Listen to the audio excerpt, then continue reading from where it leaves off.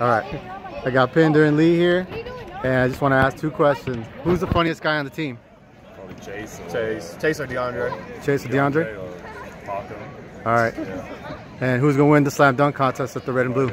You gonna be in it? Maybe. He's gonna win it. Maybe. All right, we'll be watching. how Thanks.